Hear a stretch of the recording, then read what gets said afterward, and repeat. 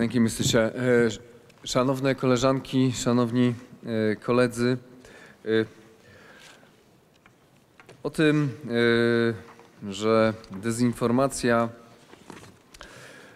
od, od, od wieków była wpisana w nasze społeczeństwo, nie trzeba nikogo przekonywać, natomiast to, jakie narzędzia w chwili obecnej po, posiadamy, w szczególności dzięki rozwojowi internetu, dzięki rozwojowi platform społecznościowych, powoduje, że, e, że dezinformacja stanowi coraz bardziej realne zagrożenie dla współczesnej demokracji.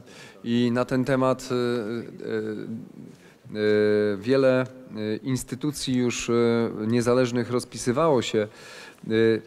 Również Komisja Europejska w ubiegłym roku, zdając sobie sprawę z tego, że również przebieg niezależnych, wolnych wyborów staje się coraz bardziej zagrożony, zajęła się tą sprawą, publikując komunikat, do którego my jako Komitet Regionów chcemy się odnieść, ponieważ walka z dezinformacją w sieci jest wyzwaniem wspólnym.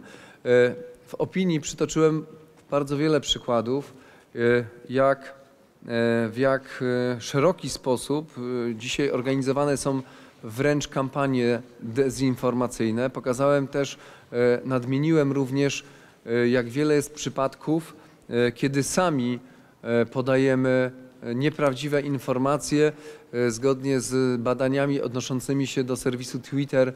e, Informacja nieprawdziwa ma 70% większe szanse na podanie dalej niż informacja prawdziwa.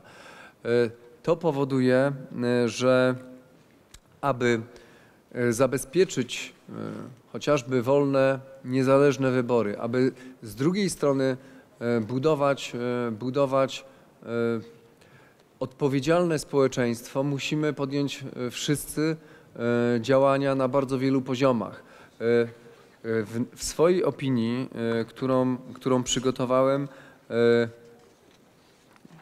wspieramy, e, wspieramy te propozycje, które przedstawiła e, Komisja Europejska, identyfikując cztery główne elementy strategii walki z dezinformacją, a więc po pierwsze zwiększenie transparentności, a więc wiedzy o źródle dezinformacji, e, a więc o tym, jak i do kogo dezinformacja jest adresowana, kto płaci za jej produkcję, za jej dystrybucję.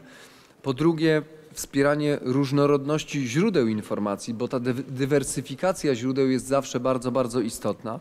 Po trzecie, wypracowanie systemu oceny wiarygodności źródeł informacji. Wreszcie po czwarte, wdrażanie programów edukacji obywatelskiej. Jak Państwo wiecie, Komisja Europejska nie tylko e, osiągnęła pewne porozumienie z właścicielami e, takie próbne porozumienie na rok czasu z właścicielami platform społecznościowych, e, ale również wdrożyła czy zaproponowała w grudniu ubiegłego roku konkretny action plan, którym, któremu będziemy się przyglądać. Uważamy natomiast, że my jako Komitet Regionów, jako przedstawiciele władz lokalnych, władz regionalnych, również w tym dziele walki z dezinformacją mamy swoje obowiązki, które, e, które tutaj podajemy jako e, wymieniając je w trzech obszarach. Po pierwsze, e, uważamy, że edukacja obywatelska jest kluczem, budowanie świadomego e, społeczeństwa jest kluczem w walce z dezinformacją. To u nas, u władz lokalnych jest przede wszystkim, e, to my jesteśmy odpowiedzialni za edukację. E, W związku z tym musimy się też poczuwać do odpowiedzialności za edukowanie świadomego, y, również odpornego na dezinformację społeczeństwa. Ja tutaj w tej opinii postuluję również, żeby rozważyć y, wykorzystanie Europejskiego Funduszu Społecznego do tego, żeby, y, żeby nie tylko budować społeczeństwo informacyjne, ale również budować społeczeństwo informacyjnie świadome. Po drugie, to jest oczywiście kwestia wspierania NGO-sów, które zajmują się kwestią walki z dezinformacją, wyłapują fałszywe informacje w sieci i e, je monitor- i monitorują sieć na co dzień. To my jesteśmy najbliżej organizacji pozarządowej i to nasza rola powinna być, aby tego typu organizacje, które zajmują się dezinformacją w sieci wspierać.